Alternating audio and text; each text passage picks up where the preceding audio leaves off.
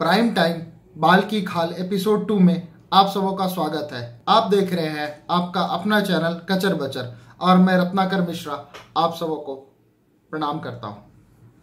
तो आज का सवाल मेरा रवीश जी से ये है कि जब राहुल गांधी ने ये कहा कि चौकीदार ही चोर है, उस समय आपने अपने प्राइम टाइम पर उन चौकीदारों के बारे में क्यों नहीं बताया कि उन्हें ये सोचकर कैसा लगता होगा? वो 18-18 घंटे तक पहरा देते हैं और फिर उन्हें कोई चोर का, चोर कैसे कह देता है?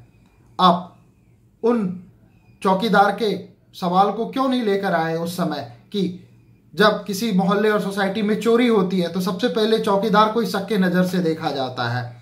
आप क्या सोच के मोदी जी के इस स्लोगन के बाद अब लगातार दो दिन से अपने प्राइम टाइम पर कवर कर रहे हैं कि क्या आप भी चौकीदार हैं? हाँ हम सभी चौकीदार हैं, अपने घर की देखभाल करते हैं, अपने समाज की देखभाल करते हैं, अपने वर्क प्लेस पर अपनी देखभाल करते हैं।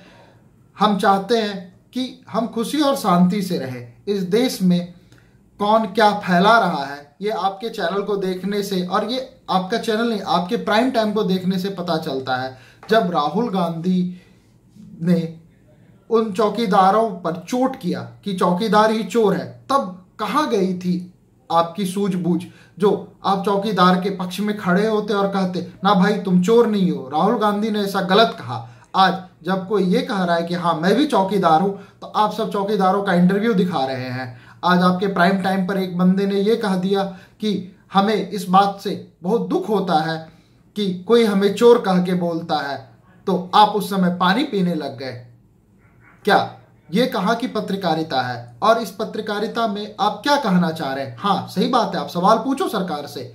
आपका हक है जो आप सवाल पूछ सकते हैं, लेकिन ये बेतुका सवाल है कि नहीं है? बस मैं यहाँ पर लोगों को उस, उनके विवेक पर छोड़े जा रहा हूँ कि क्या वो चौकीदार के साथ है या चौकीदार चोर है, ये कहने वाले के साथ हैं।